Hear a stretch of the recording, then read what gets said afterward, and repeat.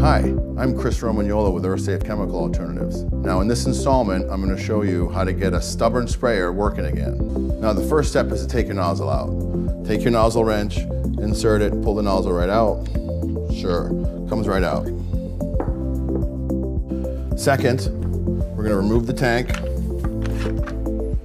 You're going to set that aside and you're going to twist the tubing off right here at the Luer lock, just like that. Next, you're gonna take a syringe here. We're gonna use the tank here, pull some water out of it. We're gonna hold it right up against and into that Luer lock right there. And while we're pulling the trigger, you wanna see the water come right through that?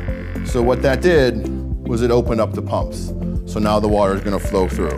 And then we're gonna test it. We're gonna take the sprayer, the nozzle back in. Put our tube back on. We're gonna insert like that. We're gonna spray. And there it goes, just needed a second to prime.